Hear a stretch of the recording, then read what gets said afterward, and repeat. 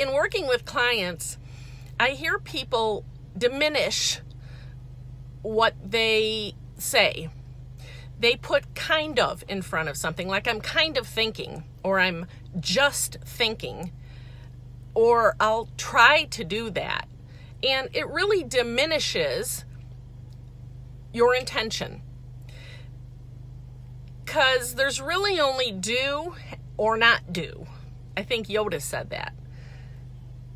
So make a decision whether you're going to do something or not do it. But don't try to do it because that just probably won't have the same outcome.